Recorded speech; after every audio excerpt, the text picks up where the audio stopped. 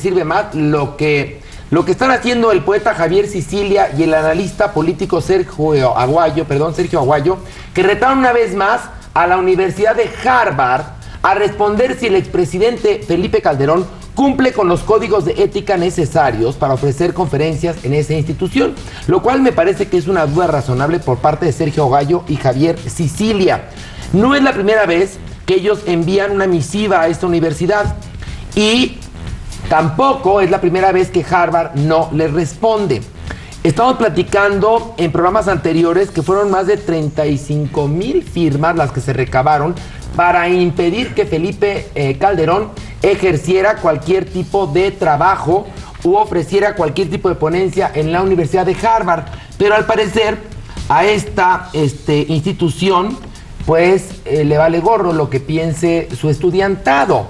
Yo creo que una medida inteligente sería que nadie se presentara, que nadie se inscribiera, que nadie se interesara por una ponencia de Felipe Calderón y pues ahí, ¿qué pasaría? ¿No? Yo me pregunto si él tiene ganas de estar todavía en Harvard, porque me parece que se va a encontrar con un clima muy hostil.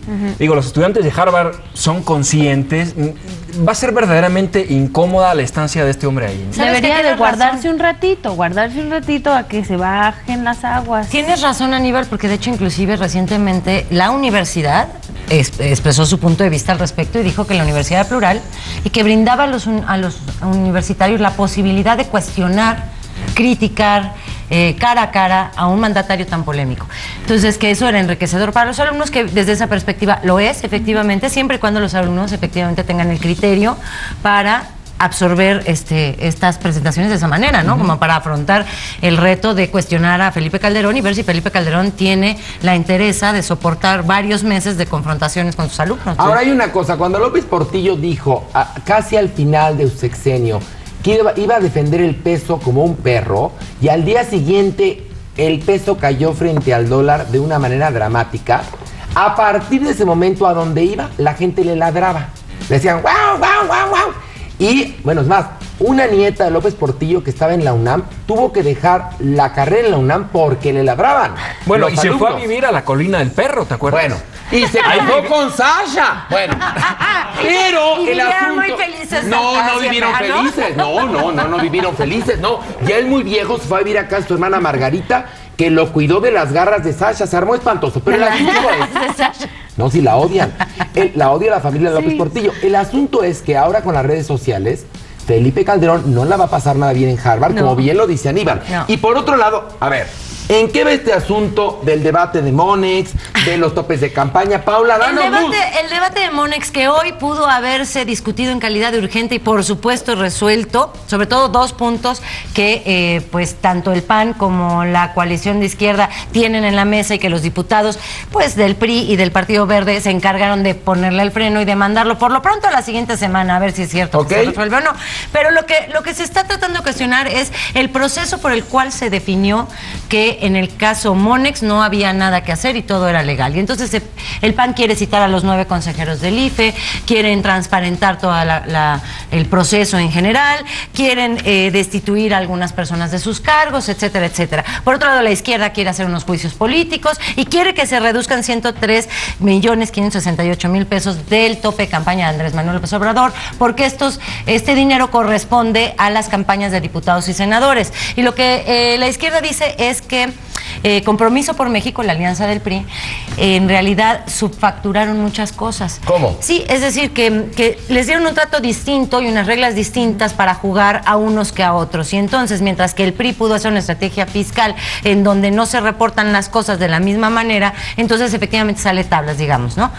hasta el momento, hasta que no haya por lo pronto una revisión más a ¿Puedo dar un ejemplo? Por ejemplo, eh, ocurría que Peña Nieto estaba en un acto de campaña con un, un candidato a diputado y con un senador. Entonces lo que hacía el PRI era prorratear, es decir, esta cantidad de dinero que destinamos a la campaña de estos tres personajes en un mismo día, tanto va para el presidente, tanto, el senador, tanto el diputado, y de esa manera, digamos, se justificaba no presentar todo el dinero como campaña presidencial. Y hoy Jesús Zambrano menciona que al PRD no le permitieron hacer eso, que ellos también lo intentaron y que les dijeron que no, que todo iba, iba paqueteado, pero que al final iban a saber cuánto era Andrés Manuel para no rebasar el tope de campaña. Pero ocurrió, o sea, ocurrió como lo vimos ahora, que acá paquetearon todo, sumaron todo y entonces el único que, que pasó el tope de campaña fue Andrés Manuel. Ahora, hay una cosa, a final de cuentas las matemáticas son exactas, ¿no? Y este, también me imagino que, no sé, habrá habido donaciones, ¿no? También se cuenta que algunos partidos recibían, o todos, dinero en efectivo, del cual no se emitía ninguna factura. O sea, eso también me imagino pero, que... Sí, todo eso puede sumar, desde luego, sin duda. Pero creo que lo más importante es lo que está diciendo Excel en este momento. O sea, si las reglas del juego no fueron los- las mismas para unos que para otros, Exacto. evidentemente el resultado no es equiparable. Claro. Y también se plantea que No, hubo no una ingeniería contable, Sí, digamos, sí. es decir, un, un grupo de expertos contadores que se ocuparon. eso es válido. Válido ¿O no? más o menos, válido si a los tres se les permite lo mismo, pero si al PRI le permites, digamos, que haga eh, triquiñuelas con los números y al resto no se lo permites, pues ahí no estás hablando de De un trato acuerdo, pero justo. si, si es una contabilidad, digamos, si es una estrategia contable legal, no hay problema. El problema es que no haya la, la misma regla de poder meter o distribuir los recursos entre varios Claro, eh, campañas. pero ¿no? probablemente, digamos, hubo, un- hubo, digamos, muchos vivos que se aprovecharon de esta Seguro, situación para mover los números como les Y convenía. quien Bueno. dirigía esa estrategia de campaña de Peña Nieto era Luis Videgaray. Ahora, Por hay, una cosa. por cierto, nuestro secretario de Hacienda. A ver, a ver, escúchenme, escúchenme. Hay una cosa que es muy importante. A final de cuentas, si el piso no fue parejo para todos, ahí hay corrupción. Por En supuesto. primer lugar. Por otro lado, por otro lado, este yo no entiendo entonces bajo qué parámetros están juzgando si a final de cuentas unos metieron todo el paquete y a otros lo están juzgando por un solo candidato. Entonces, ¿en qué paquete entran los legisladores que fueron este, elegidos? ¿En qué paquete entran? Justo es lo que está pidiendo el PRD que ahora se aclare. O sea, ¿por qué las reglas fueron distintas y a ellos les dijeron una cosa y al final de cuentas al PRI le aceptan que meta las cuentas así y dicen ustedes perfecto, ustedes son... Ok, y el PRD está exigiendo, Paula, ¿qué? Que le Están- quiten sí, cuánto? que le quiten 103 millones de pesos al gasto de Andrés Manuel López Obrador, lo cual lo sitúa en lo que ellos habían reportado como el gasto de campaña real del candidato presidencial, sin contar a los diputados o a los senadores, y que además lo pone 100 millones abajo del tope de campaña. O sea, que era algo que Andrés Manuel venía ostentando desde, Desde la siempre, campaña. sí. Que él no iba a rebasar los topes, que no iba a rebasar los topes y venía mostrando las cuentas mes a mes al IFE. ¿No? Entonces, yo creo esta es una treta bastante baja, bastante ruda y bastante oscura. Yo lo que creo es que Muy. todos los partidos, todos, hacen cochinadas. Ah, eso sí. Todos hacen negocios. Sí, Horacio, pero, pero, el montaje del PRI, de la campaña del PRI, yo eh, estuve eh, cubriendo algunos días de la campaña del PRI para la revista MX, era verdaderamente impresionante la movilización que había y el gasto que había. Es decir, mariachis, artistas, gigantescos galpones, toldos, música, regalos, chalecos. Y la es decir, producción era, era una de Pedro fiesta, Torres. digamos, de derroche. Era una bacanal, ¿no? Este, Bueno, bueno, Aníbal, Es decir, lo- sí, todos, todos, son, todos son vivos, pero algunos son más vivos que Bueno, pero hay unos que tienen más experiencia en la corrupción. claro. Y lo supieron hacer mejor. Tienen, Los, de- tienen 70 años de los del tradición. PRI tienen más de 70 años de tradición en el asunto de la corrupción. Es más, priistas inventaron la corrupción en nuestro país. Eso es verdad. Sí. Ya que durante 70 años nos gobernaron. Pero además hay otra cosa. Nada más pónganse las cuentas de los spots de Enrique Peña Nieto, de Hermosa República Mexicana, Canal 2 te saluda, en cada punto importante de nuestra república, saludando de mano a, a los extras que le contrataban y con unas tomas bellísimas. Y vayan haciendo cuentas, pero fi- al final del asunto, al final del asunto, entonces tiene que ver con magia relacionada con la contabilidad y con los números y no con la exactitud de las matemáticas, con un presupuesto No, que dimos los mexicanos y que al final de cuentas Es- son a quienes nos den la cara. Básicamente el mecanismo es, tú no puedes distribuir los gastos de la campaña presidencial ni repartir ese dinero entre todos los que están haciendo campaña. Tienes que separar lo que se gasta el candidato presidencial de lo que se gastan los candidatos a legisladores. bueno. Corte A, al PRI sí le permitieron meter todo en el paquete y ahora resulta que por eso está pasada la coalición. Ese es el meollo. A ver, pero por otro lado, los coalición. legisladores van a estrenar unos carros bien bonitos de 250 mil pesos. Ay, pero Aníbal. ¿por qué hablas de eso si estamos hablando, no estamos hablando de corrupción en este momento? Para nada. Doña, ¿Qué venga, tiene que ver? venga. ¿Qué tiene que ver? El culo con la Navidad. tan, tan. México, Siempre fiel. México. Canta y aguanta. México, tan lejos de Dios y tan cerca. de los Estados Unidos. México, M, E, acento X, I, C, I, O. Pobre México, pobre favor. México, pobre México. Pobre México. Ajo. Lo que ¿En serio? pasó y el Congreso no tiene nombre. Bueno, resulta que como los diputados están viviendo una situación económica muy precaria, Sí, no les alcanza para comprar sus propios automóviles. Entonces, ¿qué ocurrió?